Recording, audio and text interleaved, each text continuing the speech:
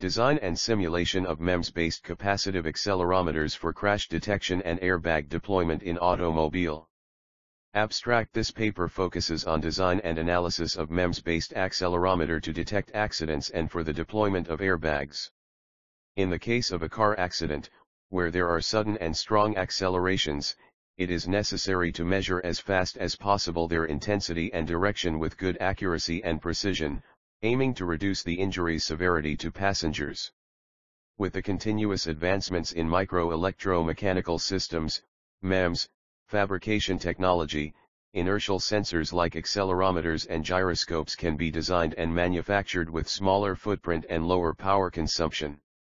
Capacitive accelerometers are the most popular and highly researched due to several advantages like high sensitivity, low noise, low temperature sensitivity, linearity, and small footprint. When sudden displacement occurs due to impact the comb gets shock loads or forces and that movement is observed by differential capacitance concept with dielectric as air. The simulations will be carried out on COMSOL while the design will be carried out on COMSOL, the actual theoretical calculation and the simulations are compared in order to get accurate results. The capacitance output obtained is carried to the electronic control unit which sends the impulse signal to airbag system and deployment of airbags takes place. Introduction Automotive is one of the most emerging areas since ages and is constantly under developments. These developments in technology and these advancements are not without responsibilities to assure that the end user is safe and satisfied. The industry's primary concerns are improving the performance, safety, and comfort aspects which have become evident over the years with introduction of highly improved standards with every iteration. Passenger safety is a field highly researched on to ensure the survival of a passenger in a car crash. This brings us to the crash detection and airbag deployment systems in the automotive industry. Frontal airbags drastically reduce harm to driver in frontal crashes by almost 30% and fatalities of front seat passengers of age 13 and older by 32%, survey from 2015.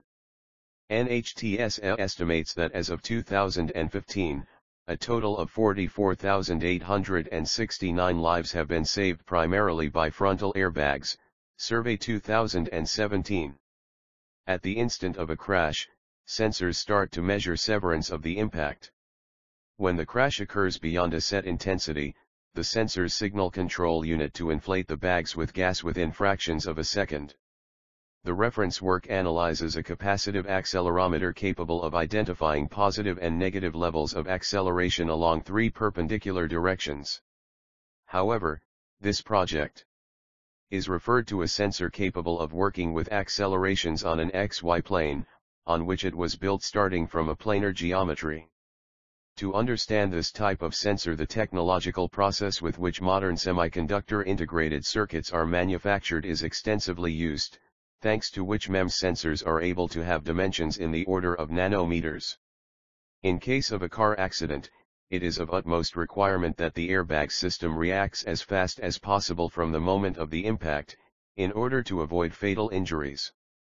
For this reason, it is necessary that the system analyses and give a response within the shortest possible time. The capacitive sensors are basically based on a moving solid body with a certain mass that will move when subjected to acceleration. The movement of the mass is the most important factor, because the small displacements of the structure leads, fingers and proof mass, to a variation of a capacity, as there are parts, called fingers that move closer or farther away depending on the direction of acceleration. These displacements are a direct effect of the acceleration on the system. When the capacity produced reaches a certain threshold value, it means that we are in a limit condition in the case under consideration, therefore, the system will react appropriately. System details. Proof mass, a proof mass or test mass is a known quantity of mass used in a measuring instrument as a reference for the measurement of an unknown quantity. A proof mass that deforms a spring in an accelerometer is sometimes called the seismic mass. This proof mass will have fingers attached to it on either side. Spring, thin beams placed in rectangular manner act as springs in the system. It facilitates movement to the proof mass, which in turn moves the fingers. The stiffness of these springs is the key parameter for displacement. Fingers, attached to the proof mass, these components are responsible to obtain differential capacitance. They are placed in between dielectric plates, such that a finger gap and an anti-finger gap exists between them. Connecting beams, these are used to connect the proof mass to the springs. Four connecting beams are used with two for each spring. It is based on the movement of a proof mass to which are attached mobile fingers whose movement makes a change in capacity, that is calculated between them and the fixed fingers. From the displacement it can be traced back the acceleration value and the capacitive system is used to calculate it. The instantaneous change in velocity, acceleration, on impact is converted into force on the system by Newton's laws of motion. This force is then responsible for the proof mass to move, which results in the movement of the fingers. A differential capacitance is set up at the gaps between the fingers and the dielectric plates. This capacitance produces a voltage which is transferred to the electronic control unit of the vehicle and if it is within the acceptable range causes the airbag to deploy. The system can be depicted by a spring mass damper setup. A force F, generated by external acceleration acting on the mass, m, causes a displacement x. The differential equation describing the system response is given by equation 0 is the dielectric permeability of the vacuum and is worth 8,85410-12F/m, R is the dielectric permeability of the material that separates the armatures, in our case it is taken as 1F/m, considering that there will be only air, A is the total overlap surface between the electrodes and D is the gap from the finger. Finger gap D1 and anti-finger gap D2 are taken in the ratio 1 2 respectively. This is done in order to discriminate the displacements in x and y axes. Thus, capacitance will be axis. When acceleration along the x-axis occurs, the capacity between the mobile and fixed fingers varies, because on the right the surface will increase by a factor x, the displacement, which will be added to the overlap length L and on the other side it will decrease, by the same amount. When acceleration on the y-axis happens, the variation in capacity depends on the displacement that makes the distances d from the fingers vary. The change in capacity will depend on the displacement along the y-axis and further simplified substituting d1 equals 2aa d2. The system is initially given a fixed amount of supply voltage, and once the differential capacitance is obtained, an output voltage signal will be sent to the control unit of the vehicle. The following section of the report addresses some of the research work carried out by various researchers in the field of capacitive accelerometers and their extensive utilization for crash detection and airbag deployment. The research papers that were referred to are listed below. Jesse Kendall, PEET.AL1 This paper gives an insight on the airbag deployment criteria and process. D. Estima ET.AL, 2017-2 This paper provides insight on the crash tests that can help the experts to identify the ranges of accelerations that may appear in various collision types. The correct sensors and data acquisition devices used in crash tests depend by the type of collisions. DataBat ET.AL, 2019-3 This paper provides insight on the importance of MEMS in the automotive industry along with the various applications in vehicles along with MEMS fabrication. Vijayakumar SET.AL 2011 For this paper depicts the design and analysis of a two-axis MEMS capacitive accelerometer Divya ET.AL, 2015-5 This paper provides insight on analysis of three-axis accelerometers using COMSOL. Fulwari ET.AL, 2017-6 This paper provides insight on the importance of MEMS in the automotive industry and how they are cost-effective, compact in size and help prevent major catastrophe. Murad Ben Messaoud, 2013-7 Optimization with respect to design parameters are done and variation are studied Giulio Puccinai, 2028 This paper provides insight on the performance of a standard capacitor accelerometer at varying accelerations and also provides insight on the effect of variation of thickness of the capacitive accelerometer. Zachary Mohammed 2016-9 This paper optimizes finger spacing and spring constant and simulation is carried out. Research gap. The literature of displacement and stress analysis with respect to two-axis MEMS capacitor accelerometer is scarce and doesn't involve alterations to the accelerometer to improve efficiency. The objective of our project is to design a two-axis MEMS accelerometer and analyze the displacement and stress along the x and y axis. Certain alterations with respect to the design of the accelerometer are done to study the difference in performance. Design Design of standard capacitance accelerometer. The preliminary design was carried out on solid edge. The design parameters of the standard capacitive accelerometer is taken from one of the research papers that were referred to. The fixed fingers and the proof mass along with fingers and springs were separately designed. The standard design has a total of 12 fingers on the proof mass. The thickness of both the proof mass and the fixed fingers are considered to be 40 millimeters. 5.2.1 Standard Capacitive Accelerometer Design of capacitance accelerometer with reduced thickness of 20 mm. The thickness of both the proof mass and the fixed fingers are reduced by 20 mm with respect to the standard design. There is no variation in any other parameters other than the thickness. The total number of fingers present in this model is 12. The proof mass and the fixed fingers are separately designed and assembled. 5.3.1 Capacitive accelerometer of thickness 20 mm. Design of capacitance accelerometer with increased thickness of 80 mm. The thickness of both the proof mass and the fixed fingers are increased by 40 mm with respect to the standard design. There is no variation in any other parameters other than the thickness. The total number of fingers present in this model is 12 The proof mass and the fixed fingers are separately designed and assembled. 5.4.1 Capacitive accelerometer of thickness 80 mm. Design of capacitance accelerometer with increased thickness of 160 mm. The thickness of both the proof mass and the fixed fingers are increased by 120 mm with respect to the standard design. There is no variation in any other parameters other than the thickness.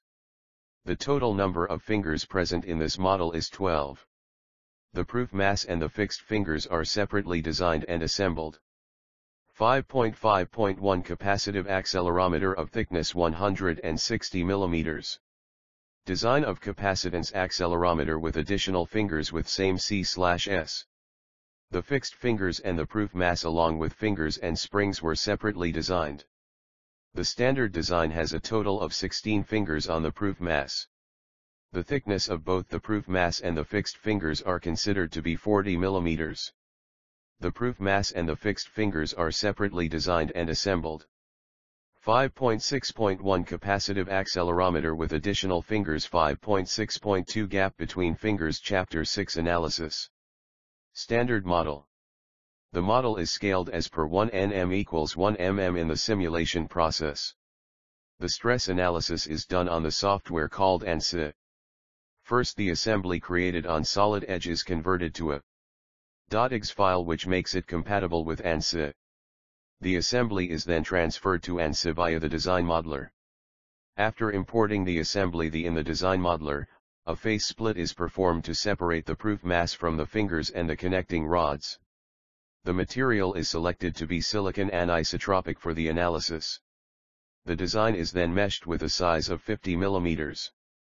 The acceleration is set to the proof mass for 10g in the x-axis, and a displacement of 0 mm is set in the x-axis. The fixed fingers are considered as fixed constraints. The larger springs are also constrained as the analysis is strictly performed for the x-axis. The total deformation analysis is performed and results are obtained for 10G, 30G 50G 70G and 100G respectively. Similarly the same procedure is followed for analysis of stress in the y-axis. Instead of constraining the larger springs, the smaller springs are constrained. The acceleration is considered to be 10G and the displacement is considered to be 0 mm in z-axis. The total deformation is analyzed for 10G, 30G, 50G, 70G and 100G respectively. Generally has a dimension of 40 mm thickness. The analysis conducted indicates that with increase in the thickness of the capacitive accelerometer, the displacement decreases which in turn increases the capacitance induced. With increase in capacitance induced the response time of the airbag control module is reduced, thus increasing the efficiency of accelerometer by increasing the thickness of the capacitive accelerometer also increases the stress induced in the accelerometer. So, we have to compromise with the efficiency of the accelerometer due to the stress produced. The basic standard of capacitive accelerometer available in market. Future work. The entire work was carried out based on the fingers placed in the lateral position only, along x-axis, even for the y-axis simulations. Thus, one of the major improvements to the model can be the introduction of sensing fingers on the y-axis that is along the longitudinal direction as well. This will Stress analysis Stress analysis was carried out to analyze critical points of failure under the action of loads. Thus, what can be inferred from this is that, for application of load in x direction, the maximum stress is concentrated at the point where the fingers are attached to the proof mass. For the y-axis analysis, the stress was observed to be concentrated at the point where the lateral connecting beams are attached to the proof mass further enhance the system efficiency particularly for longitudinal analysis. The work carried out can further be improved and a more idealistic and justified results can be obtained taking into consideration the COMSOL software approach. The model can be taken its true scale and boundary conditions will remain the same as in case of the work carried out above. Two primary modules are taken into consideration. One is the solid mechanics module that deals with the static structural analysis of displacement and stress of the body. The next is the electrostatics module which deals with determination of differential capacitance at the terminals. Required. A reference voltage of 1V is applied to the fixed terminals and the proof mass will be at ground charge condition. This is analyzed under electric potential probe analysis to determine output voltage and Maxwell differential capacitances can be obtained in tabulated format. In order to analyze the capacitance produced by the capacitive accelerometer an electrostatic study was conducted in COMSOL. The fixed fingers are given an terminal voltage value of 1V. The proof mass along with the movable fingers are grounded. A body load is defined with respect to volume on the proof mass. The fixed constraints are applied on the fixed fingers. A global probe is created to determine the Maxwell capacitance. Thus, through this approach, both static structural and electrostatics can give conclusive evidence on the efficiency of the system, through both static analysis and electrical approach. Dynamic analysis Another approach to obtain precise outputs is the dynamic analysis of TE system in time-dependent form. Due to lack of system requirements and license of software being limited to use, this approach was not possible to be done. However, in future prospects, this will definitely enhance the results and give justified outputs for effective efficiency comparison between the models. However, a transient structural, time variant, approach was carried out in subsets for a time interval of 1 starting from 0.2 seconds in steps of 0.1 0.15 seconds up to 16 subsets. It was observed that the deformation is more or less the same as in case of static structural, but a very small decrease in deformation was seen halfway through the time interval and the certain small variations of increase-decrease took place, after which, the value increases and maximum value is obtained. Acceleration, displacement, and fixed constraints would remain the same as in static structural analysis.